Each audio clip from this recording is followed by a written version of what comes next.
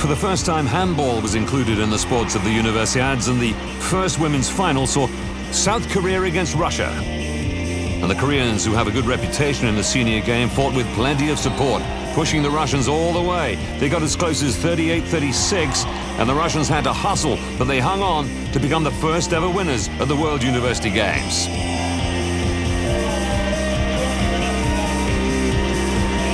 South Korea, the silver medalists. Portugal beat Serbia in the men's final.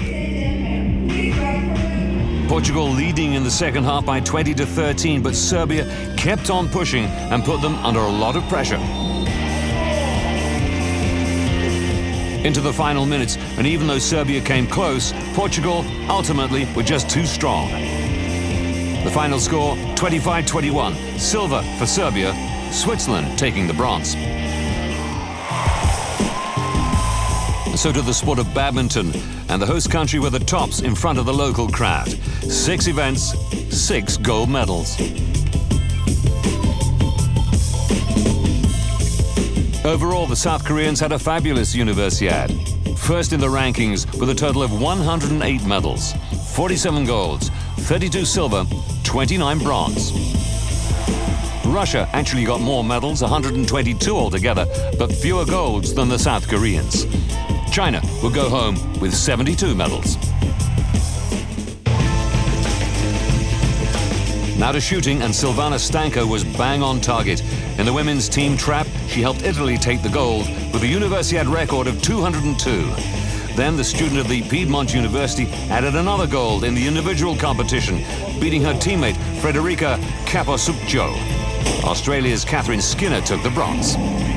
The Italians were unbeatable in the trap because when the men stepped forward, Valerio Grazini, an economics student, was top shot. Defeating Filip Marinov of Slovakia 14-12, Yavuz Ilnam from Turkey shot his way to the bronze.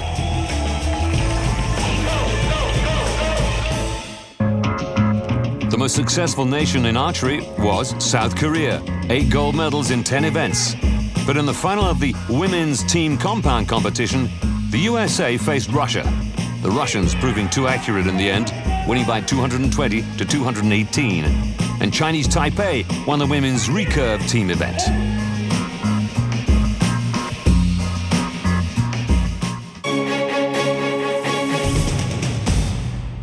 Still to come on campus sport, we turn to basketball.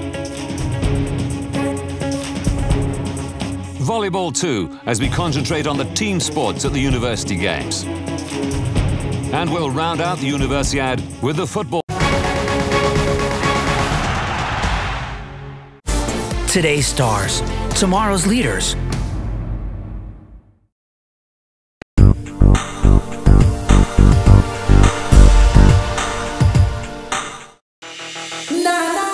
The International University Sports Federation brings together millions of students worldwide around the same values excellence in mind and body.